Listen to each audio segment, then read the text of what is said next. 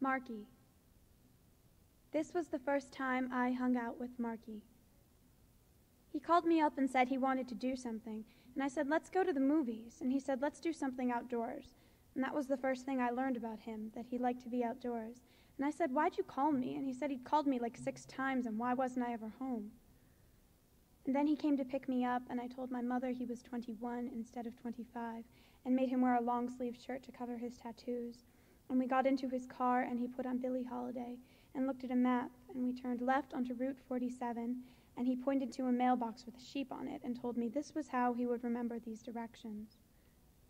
And then we were hiking, and he said how beautiful my hair was, and I asked him about his family, and it started to rain, and we had sandwiches and french fries and ice cream at this stand on the side of the road that he liked.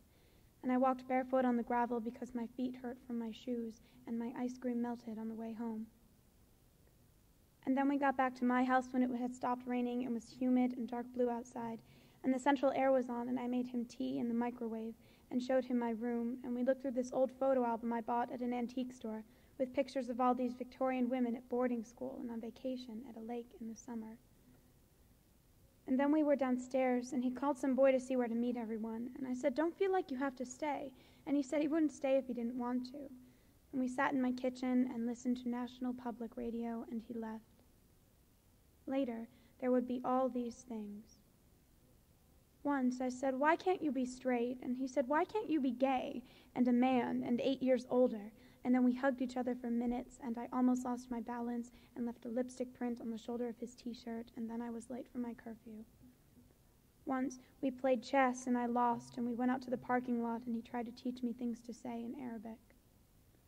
Once I made an apple pie while we watched a Bette Davis movie, and he said I was the smartest person he ever met, and told me about a boy he gave sunflowers to when he lived in New York City.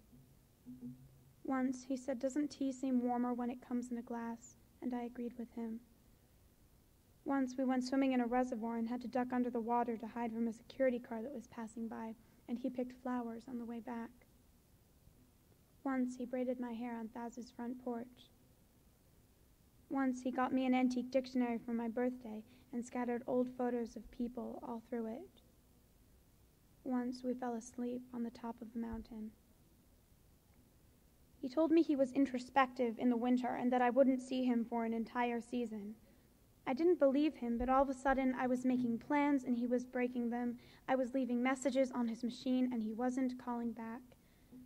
His Christmas gift became his going away present, which I gave to him with a hug on July 8th before he left for Ithaca, before I left for Erie, and we were strangers, and he looked at me like I was exhausting.